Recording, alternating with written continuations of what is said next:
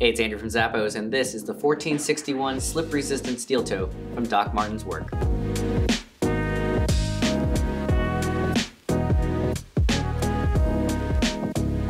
Doc Martens have taken their classic design and re-engineered it for work. Features a coated leather upper along with a steel toe for added protection. A traditional lace-up design provides a secure fit with padding on the tongue.